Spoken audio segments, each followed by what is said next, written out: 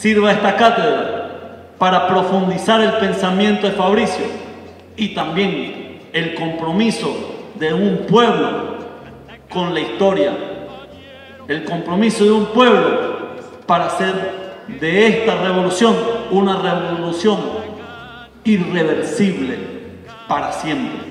Y eso nos toca a nosotros. Ahora, convertámonos cada uno de nosotros en Fabricio Ojeda, en Hugo Chávez, en Nicolás Maduro. Y seremos invencibles para siempre.